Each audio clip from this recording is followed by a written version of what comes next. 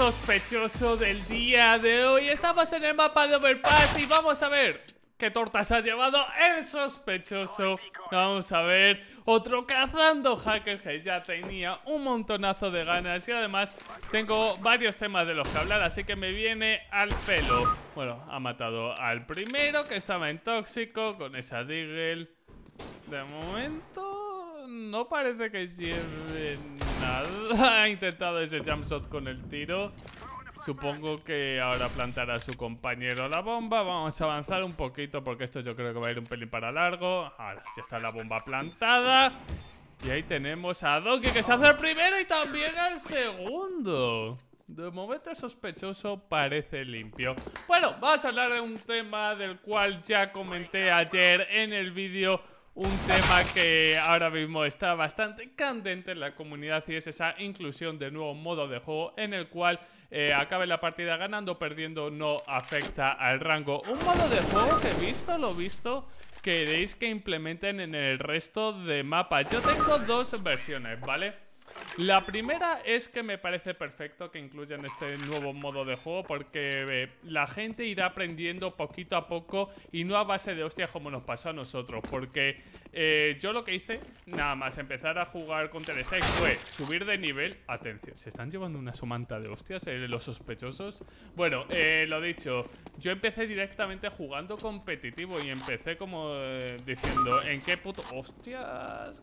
Ay, ay, ay, ay, ay, que parece que se ha cargado. Y le mete la hostia con la scout ahí, apuntando, atención, que yo creo que ya se ha cansado de recibir tantos headshot. Lo dicho, yo empecé eh, jugando CSGO recibiendo hostias por todos lados. Eh. De hecho, empecé Plata 2 y poquito a poco fui aprendiendo. Pero lo dicho, se notaba mucho la gente que ya tenía rodaje en anteriores eh, Counter-Strike, ¿vale? Yo creo que de esta manera la gente va a ir aprendiendo más poquito a poco y eso le va a venir muy muy bien. Y también, como dije ayer, eh, para la gente que simplemente quiera jugar una partida tranquilamente, sin frustrarse, sin tener que pensar todo el rato en el rango, sin tener que... Bueno, yo pienso aparte que ahí no va a haber... O sea, si hay hackers en ese modo de juego, por cierto, voy a tener que hablar... Eh, va cargado de AIM, va cargado de wallhack... Como iba diciendo, yo lo que pienso es que ahí la gente no va a ir cargada con hacks, porque si no tiene en cuenta el rango, ¿qué necesidad tiene la gente de ir con hacks en ese modo de juego? Eh, voy a hablar en el segundo sospechoso, ¿vale? Más en profundidad. Pero esa es en mi primera opinión, que es la parte positiva. Luego voy a dar la negativa, ¿vale? Venga, vamos a por la última cajita. De momento no nos está tocando nada.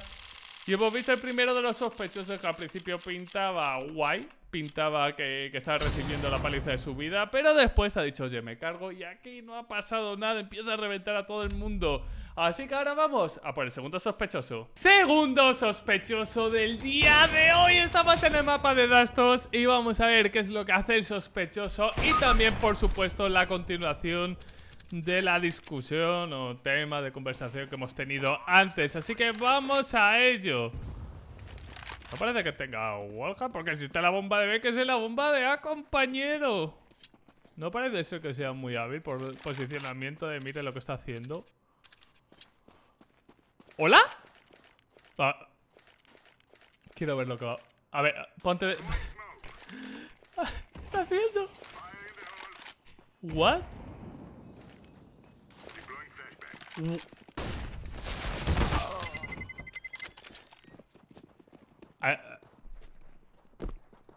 ¿Alguien me explica lo que acaba de pasar? ¿Alguien me puede explicar qué es lo que acaba de pasar? ¿Puede ser este el tío más raro que hayamos visto en mucho tiempo? A ver. ¿Wallhack? ¿Visto lo visto? Estaba muy seguro de que había uno en coche. A ver, tiene que saltar ahí. Lo hace perfecto. No se le ve muy hábil que digamos, como he dicho anteriormente. Pero bueno, esto sería bastante... O sea, vamos a ver si lleva hacks. Pero en el caso de que no llevase hacks, qué bueno sería ese modo sin rango para que mejorase. ¿eh? Qué bonito sería.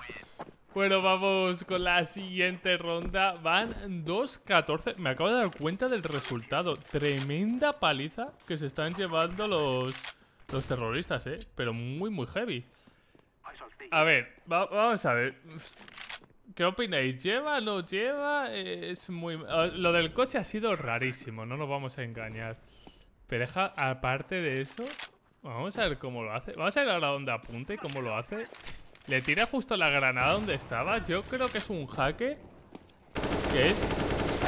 Pero fijaros en eso. A ver, yo creo que está claro... Uy. A ver.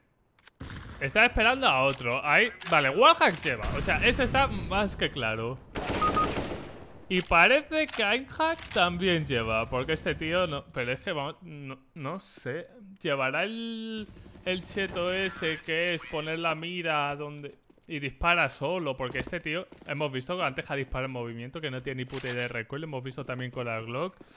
No parece que nos lleva un hack muy bestia, pero evidentemente lo lleva, ¿eh? Bueno, ahí se ha cargado a uno, disculpad.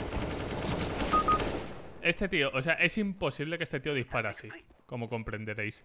Y bueno, vamos a hablar del segundo tema, ¿vale? Si os parece bien, ya que este tío le hemos pillado.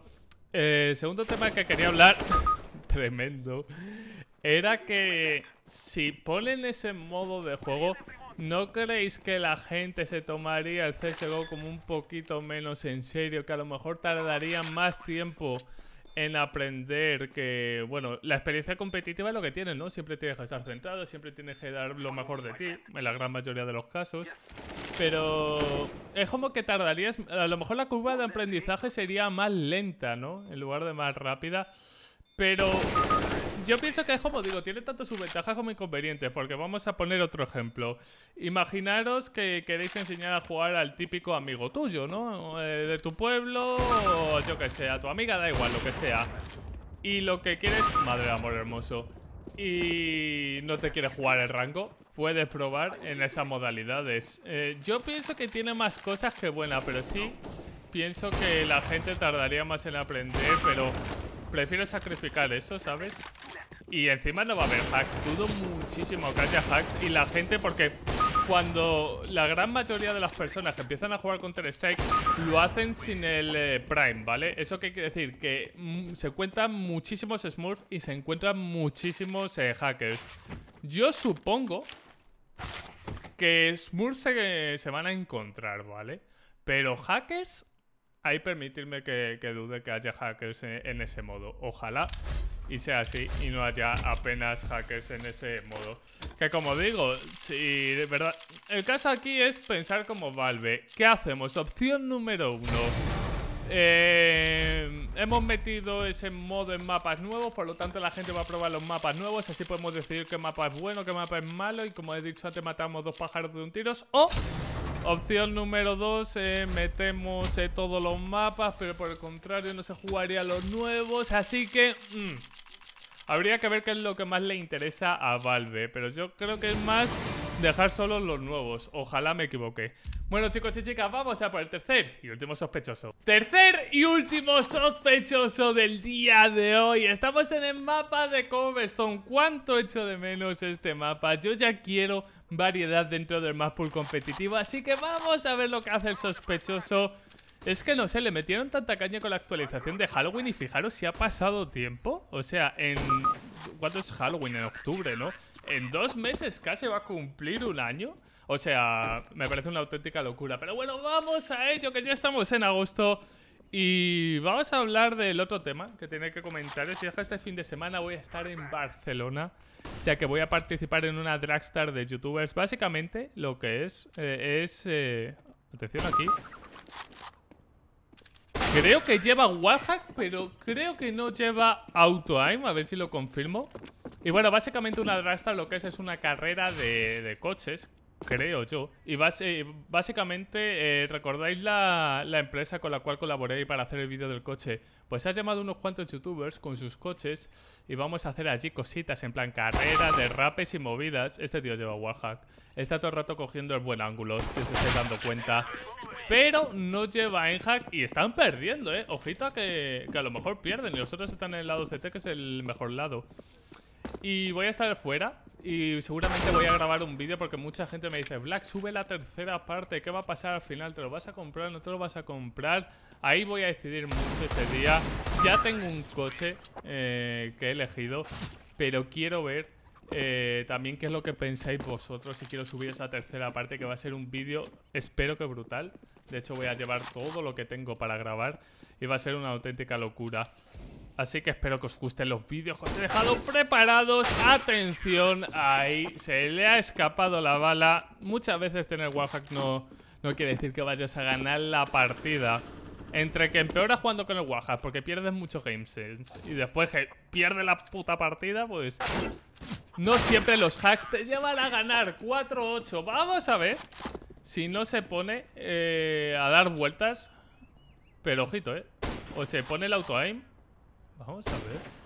Pues evidentemente le estaba disparando. Eso no es... Eh, juraría que eso no es wallbang, ni mucho menos. Vamos a ver.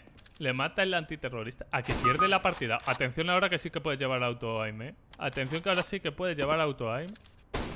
Uf, ahora... ¿Lleva no lleva? Fijaros. Oh, falla algunas balas, otras tal. Yo creo que le voy a meter que sí por las dudas. Pero vas a seguir viendo. Menos mal que su amigo al menos no lleva. Vamos a ver, tiene autonuf el Dart, eh. Qué liada. Sí, pero ¿y aquí qué? Aquí Dart tienes las de perder sin lugar a dudas. Porque él te va a hacer un prefire del Averno. Míralo, ahí es imposible. Eso que están... Bueno, pues nada. Iba a decir, si están en estáticos, pierden seguro. Pues no, han ganado. Eh... eh. Warhack te sobra. Einhack voy a decir que no lleva. Puede que se la haya activado alguna vez. Decidme en los comentarios. es, que se le puede poner los dos. Mira, es un hacker. Si total le van a banear la cuenta, igual vamos a poner que lleva también Outtime. Aunque, como digo, estoy más que 100%. Bueno, estoy aún. ¿Qué decir? 60-70% que lo lleva. ¡Ojito a la rosa! Vamos a ver si con Star Track no lo parece. Fiel Tested. Os recuerdo que es hiper chungo conseguir esa arma en Factory News. Si os sale Factory News a rosa venderla, que creo que está por 50 euros o más. Me hubiera gustado mucho que me tocase la VP, pero bueno, vamos al lío. Últimamente los youtubers no estamos teniendo mucha suerte con las cajas. Si a Steve no le salen cosas ya, imaginaros cómo está el panorama. Así que nada chicos y chicas, aquí acaba el vídeo. Hemos hablado un montón de cosas, hemos visto a tres hackers que hemos eliminado Así que espero de corazón que hayáis disfrutado un montón del vídeo Y nos vemos mañana con más. Un saludo y hasta la próxima